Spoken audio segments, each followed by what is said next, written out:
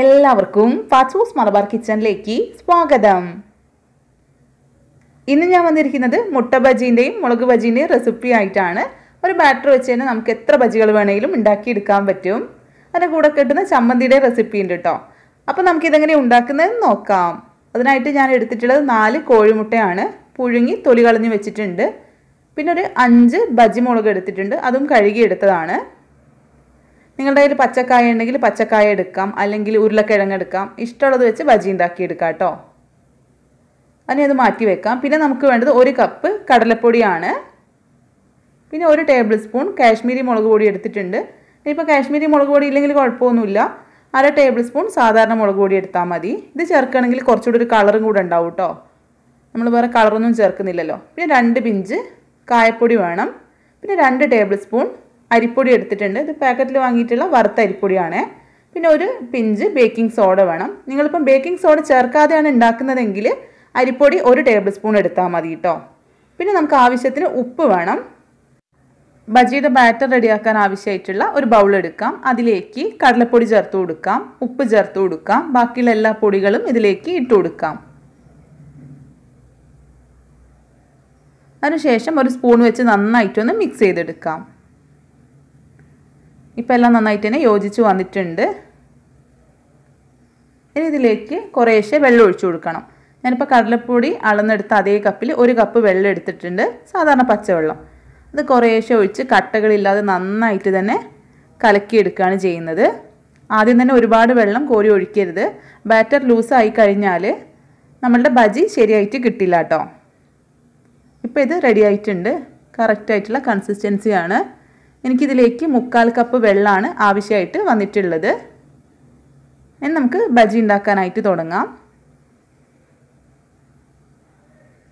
Batter കലക്കിയിട്ട് കുറേ സമയം റെസ്റ്റ് ചെയ്യാൻ വെക്കണം അപ്പം തന്നെ ഉണ്ടാക്കിയെടുക്കാം കേട്ടോ. നമ്മൾ ബേക്കിംഗ് സോഡ ചേർത്തതല്ലേ? ഞാൻ ആദ്യം തന്നെ മുട്ട നടുകെ ഒന്ന് മുറിച്ചെടുത്തു. ആ സമയത്ത് ഒരു പാനിനകത്ത് കുറച്ചധികം എണ്ണ ചൂടാവാനായിട്ട് വെച്ചിട്ടുണ്ട് കേട്ടോ. ഇനി ബജിയുടെ മുളക് കട്ട് ചെയ്തെടുക്കാം. കണ്ടില്ല? ഇതുപോലെ പിടിച്ചിട്ട് ഇങ്ങനെ കട്ട് ചെയ്തെടുക്കുക. മുട്ടയൊക്കെ ഇങ്ങനെ കടയിലൊക്കെ ഞാൻ കണ്ട ഒരു കടയിൽ എങ്ങനെയാണോ അവർ നൂൽ വെച്ചാണ് കട്ട് ചെയ്യുന്നത്. അപ്പോൾ നല്ല അടിപൊളിയായിട്ട് വരും കേട്ടോ അപ്പോൾ ഞാൻ കത്തി കൊണ്ടാണ് മുറിച്ചിട്ടുള്ളത്. അപ്പോൾ ബജിയുടെ മുളക് കട്ട് ചെയ്തു. എന്നിട്ട് അതിന്റെ ഉള്ളിൽ അരിയില്ലേ ആ അരി ഒന്ന് തട്ടിക്കളയാം അല്ലെങ്കിൽ കത്തി വെച്ചൊന്ന് ചുരണ്ടിയിട്ട് കളയാം. എങ്ങനെയാണ് നിങ്ങൾക്ക് സൗകര്യം വെച്ചാൽ അതുപോലെ ചെയ്യാം. അപ്പോൾ എരിവ് ഉണ്ടാവില്ല കേട്ടോ അല്ലെങ്കിൽ വലിയ എരിവൊന്നുമില്ല. ഞാനൊന്ന് തട്ടിയിട്ട് അതിന്റെ ഉള്ളിലുള്ള അരിയൊക്കെ കളയുക ചെയ്തിട്ടുണ്ടായത്. ആ ഒരു അതുണ്ടല്ലോ ഞെട്ടുണ്ടല്ലോ ആ ഞെട്ട് കളയണ്ട കേട്ടോ അങ്ങനെ തന്നെ നടുവ് കൂടെ കട്ട് ചെയ്തെടുത്താൽ മതി. ബാക്കിയുള്ളതും ഇതുപോലെ തന്നെ കട്ട് ചെയ്തെടുക്കാം. ഇപ്പോൾ ചൂടാവാൻ വെച്ചിട്ടുള്ള എണ്ണ ചൂടായിട്ടുണ്ട്. എണ്ണ നന്നായിട്ട് ചൂടാതിന് ശേഷം വേണം കേട്ടോ ഓരോന്ന് ഇതിലേക്ക് ഇട്ട് കൊടുക്കാനായിട്ട്. അത് ഞാൻ മുട്ട ബജിയാണ് ഉണ്ടാക്കുന്നത്. അതിനായിട്ട് കട്ട് ചെയ്ത മുട്ട ഓരോന്ന് ഈ ബാറ്ററിൽ മുക്കിയിട്ട് ഈ എണ്ണയിലേക്ക് ഇട്ട് കൊടുക്കുവാണ്.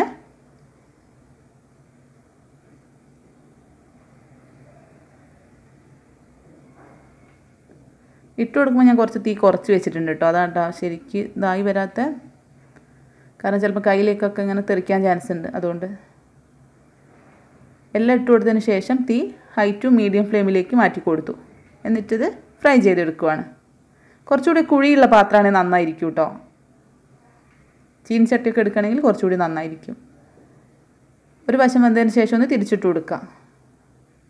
ഇപ്പോൾ രണ്ട് വശവും റെഡി ആയിട്ടുണ്ട്. ഇനി നമുക്കിത് കോരി മാറ്റാം. ഇനി നമുക്ക് മുളക് ഫ്രൈ ചെയ്തെടുക്കാം.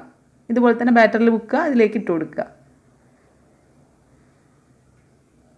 തിരിച്ചിട്ട് കൊടുക്കാം. പെട്ടെന്ന് തന്നെ റെഡിയായി കിട്ടും കേട്ടോ ഒരുപാട് തീ കൂട്ടി വെക്കുകയും ചെയ്യരുത്. തീരെ തീ കുറച്ച് വെക്കുകയും ചെയ്യരുത്. അപ്പോൾ അത് ശരിയായിട്ട് കിട്ടില്ല. ഇപ്പം ഞാൻ ബജിയൊക്കെ ഉണ്ടാക്കി എടുത്തിട്ടുണ്ട്. ഇനി ചൂട് ബജിയുടെ കൂടെ നമുക്ക് ചമ്മന്തി കൂടെ വേണ്ടേ? അതിനായിട്ട് ഒരു മീഡിയം സൈസിലൊരു സവാള എടുത്തിട്ടുണ്ട്. ഒരു മീഡിയം സൈസിലെ തക്കാളിന്റെ പകുതി എടുത്തിട്ടുണ്ട്. ഇനി ഒരു മിക്സിയുടെ ജാർ എടുത്തതിന് ശേഷം അതിലേക്ക് സവോള ചെറുതായിട്ടൊന്ന് അരിഞ്ഞിട്ട് കൊടുക്കാം.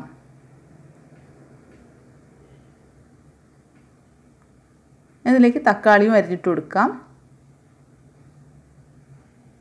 പെട്ടെന്ന് റെഡിയാക്കാൻ പറ്റുന്ന ചട്നി കേട്ടോ ഇതിലേക്ക് ആവശ്യത്തിന് ഉപ്പ് ചേർത്ത് കൊടുക്കാം.